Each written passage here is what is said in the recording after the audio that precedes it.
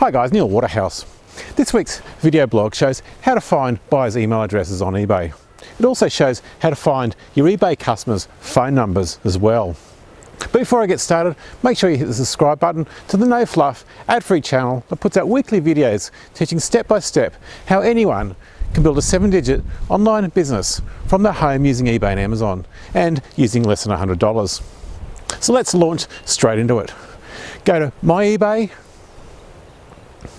then Account, then Seller Dashboard, then File Management Center, then Create Download Request, select Sold, then select whatever date range that you require. In this case, I'll select yesterday. Enter your email address, then click the Save button.